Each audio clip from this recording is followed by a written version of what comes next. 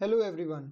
Today I have decided to start a multi-part video tutorial series that will show how to create a basic stickman rig.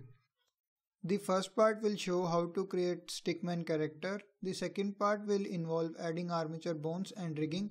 And in the third final part we will animate our character by developing a small walk cycle. To begin, let's start a new Blender project. Go to File, click on New and choose Reload Startup File.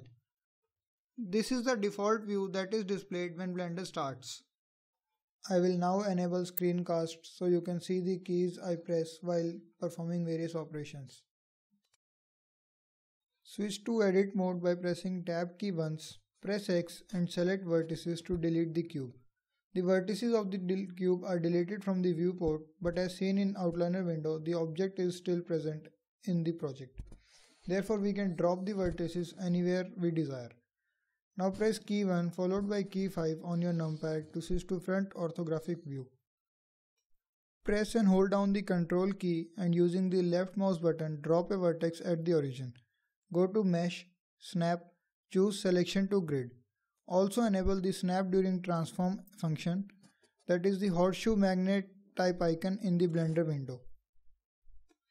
This will lock down the vertex so that it will only move along the grid.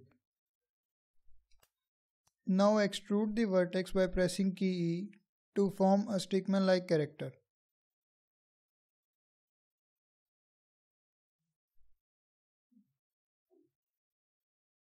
Switch back to object mode and go to modifiers tab and apply mirror modifier. The order of modifiers is very important. After that apply skin modifier and then apply subdivision surface modifier and change the view value to 2.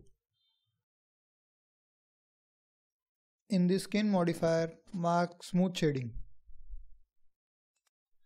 Now we have a pretty basic stick figure. Switch back to edit mode and also change the viewport shading to wireframe by pressing Z key.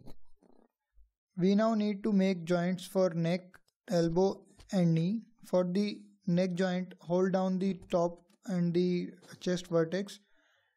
Press W and choose subdivide and change the number of cuts to 3. Now turn off the grid lock. Now move the vertices in a way that resembles the position of eyes, nose and neck.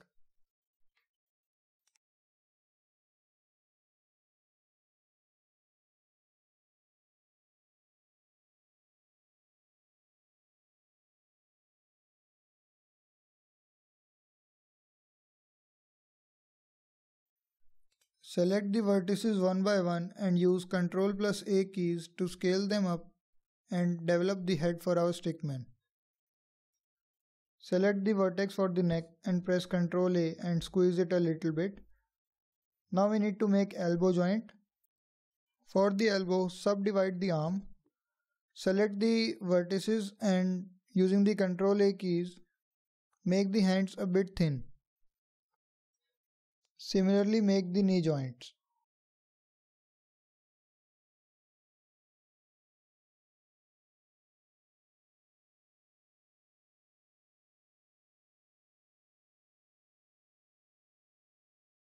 Now select the chest vertex and scale it up to give it a slight puffy body.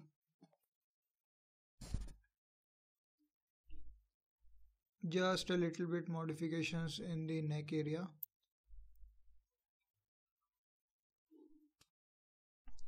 Select the center vertex and in the skin modifier click on mark root.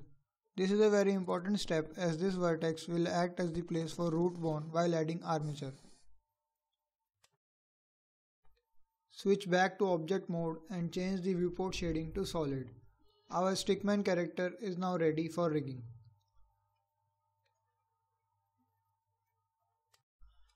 Since this is the beginner tutorial so I created a pretty basic stickman.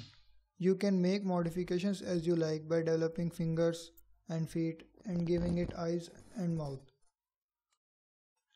This now concludes the tutorial. In part 2, we will start by adding armature bones and rigging our character. If you liked watching the video, do subscribe and leave a comment. Thanks for watching.